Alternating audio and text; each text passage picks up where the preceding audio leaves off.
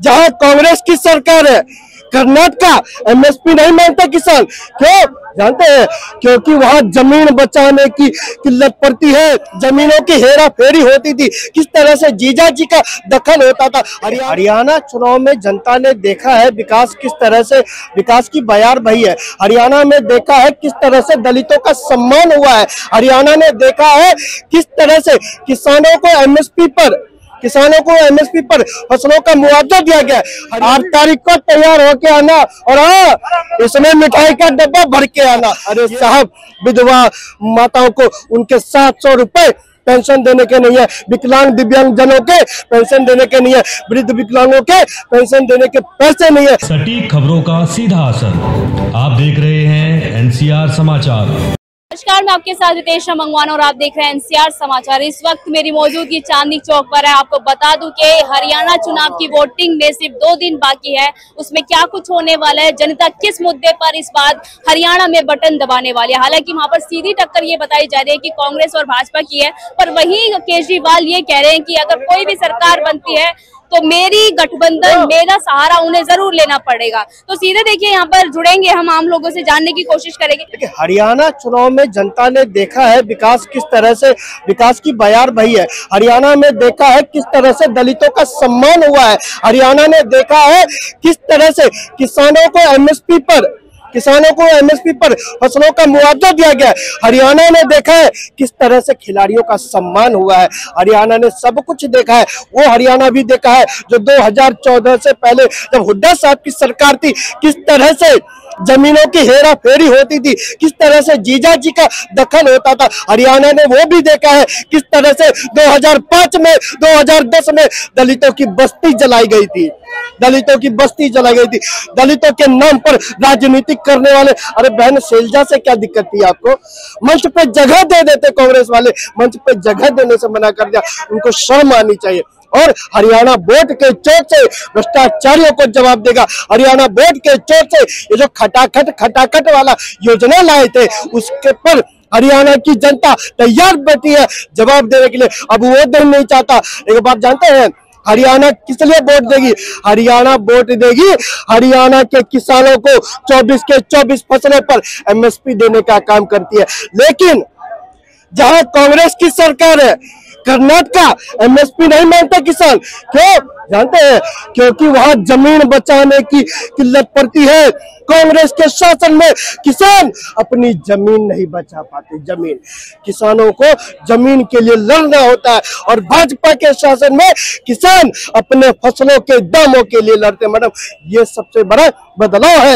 इसका उदाहरण देखना हो तो कर्नाटका में देखो, किस तरह से जमीने किसानों की छुड़ा ली गई और 1200 से ज़्यादा किसानों ने आत्महत्या कर ली। इसका उदाहरण देखना हो तो ही चले जाइए हिमाचल और जाकर देखिए किस तरह से हिमाचल का डगिया डोल कर दिया।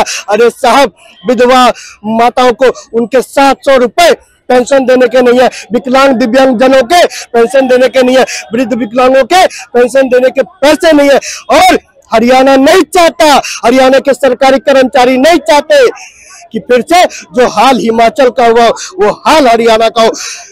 हरियाणा के किसान नहीं चाहते जो कर्नाटका का कर्नाटका के किसानों का हाल हुआ हो वो हरियाणा के किसानों का हाल। हो। भाजपा को एक बड़ा झटका लगा है। अशोक तंवर जो है वो कांग्रेस में जाके शामिल हो गए। देखिए शामिल जो भी हो जाए कांग्रेस की डगमग डोल स्थिति हो चुकी है। ये वही कांग्रेस है, ये वही कांग्रेस है जो 90 विधानसभा सीटों पर जिसके आका राहुल गांधी जी गठबंधन करने के लिए घबराते गठबंधन किससे? उससे गठबंधन करने की बात करते हैं, जिसको नोटा से कम वोट मिला है, आम आदमी पार्टी।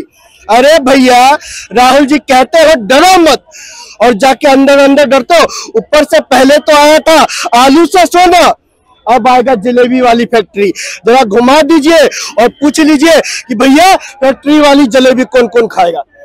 अरे राहुल भैया आप तो five star six star seven star में खाते हो। क्यों गरीब आदमी को मारने के लिए आपने बेटियों का सम्मान करते हैं पर वहाँ पर विनेश फोगाट कांग्रेस में शामिल हो गई जुलाना विधानसभा से लड़ रही है कांग्रेस की वही तो जनता जानती थी ये सारा उपक्रम ही कांग्रेस का था।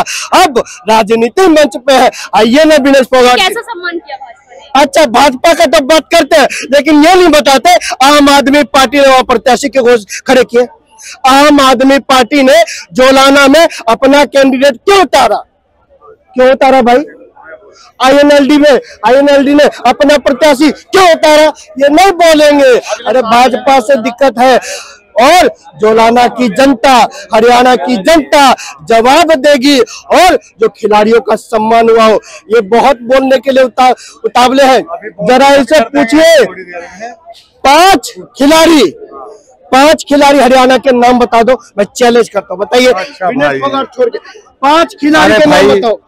पाँच खिलाड़ी के नाम। भाई सांस तो ले ले। पाँच खिलाड़ी के नाम पूछो।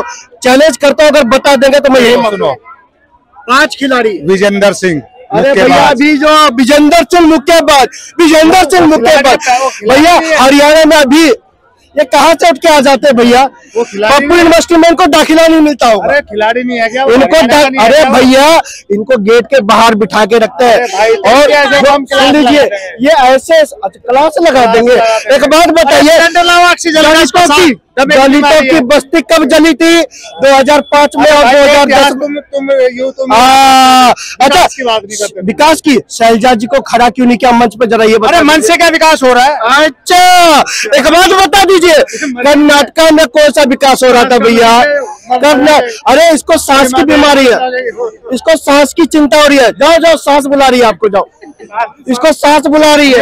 ये कह रहे हैं भैया सांस। बुला रही है। अरे जाओ। करवाया था?